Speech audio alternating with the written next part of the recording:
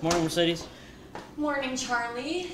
You know, you can't call me by my real name. Oh my gosh, I'm sorry, Soraya. I apologize. That's just the, that's the first time I was introduced to you as Mercedes, so it's the first thing that's on my mind. I apologize. I, I will work on it, I promise. It's okay, Charlie. I'm used to getting recognized by my stage name. I'm sorry, this is this is new for me. I've I've never had a roommate before. I mean, especially a roommate who's a Porn star. I was gonna say a girl.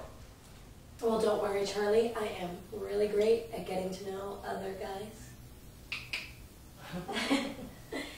and, um, listen, thank you so much for letting me be your roommate. I mean, I really was in a pinch. Ah, No problem. I, I feel like I owe you after what you did for my mother.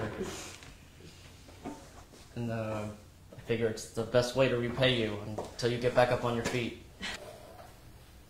Well, thank you, Charlie. I really do appreciate it. So, um, how do you like being a banker? Oh, you know, it has its ups and downs.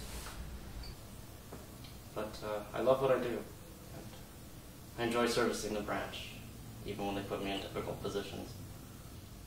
You know, at the end of the day, I leave my job feeling fulfilled. I can say all the exact same things about my job. Uh, and, and, and don't worry, your, your career choice, it doesn't bother me. Thank you, Charlie. That's really cool. and um, we are going to have so much fun, and we're going to go out, have a really good time, go out drinking. Oh, I can even introduce you to some girls, unless you have a girlfriend. Oh my God, Charlie, are you seeing somebody? No, don't, don't worry. I haven't had a girlfriend in a long time. Charlie, are you a virgin? What? Oh my God, you're a virgin. How do you know? Charlie, I'm a porn star.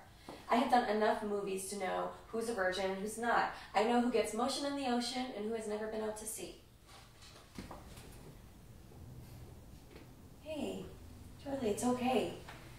I mean, I think it's cute. I just wish more guys would think like you, you know? I would rather them be honest with me as opposed to me finding out the hard way. Sometimes the soft way. Oh, wow.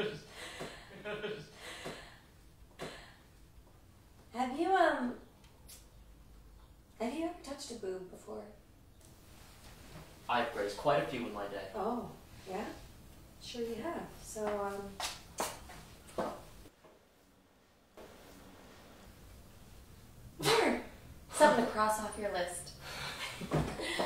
You okay there? Uh, yeah, oh, I'm fine. Just, this just needs more sugar. Well listen, I gotta go to work, okay? And um, you know, if you see some of my stuff lying around, you know, like panties, accessories, toys, things like that, don't freak out. Just be really careful because I've used some of those things in my movies.